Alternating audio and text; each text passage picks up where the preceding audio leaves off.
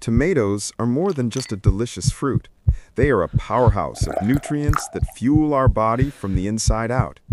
As we consume a tomato, it travels to the stomach where digestion begins, breaking down vitamins, antioxidants, and essential compounds.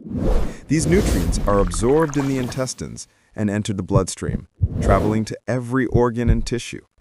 In the brain, they activate neurons and synapses, enhancing memory, focus, and overall cognitive function. Muscles absorb these nutrients, staying strong, energized, and ready for action. The gut thrives as well, with a healthy microbiome supported by the tomato's natural compounds. The body feels revitalized as energy flows from the core, lighting up organs and tissues. However, moderation is key.